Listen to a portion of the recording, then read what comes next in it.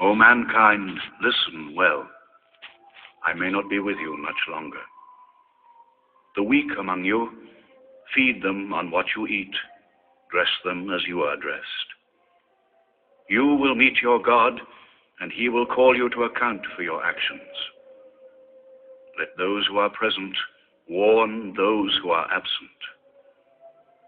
You are all descended from Adam, and the best among you is he who most regards God. Think deeply about what I say. Let all your feuds be abolished. You must know that every Muslim is the brother of every other Muslim, and all Muslims are brothers one of another. Between Muslims there are no races and no tribes. Nor must you take anything from your brother except what is given freely. Do not oppress, and do not be oppressed. O my people, I am but a man. It may be that the angel of death will visit me soon, and death will overtake me.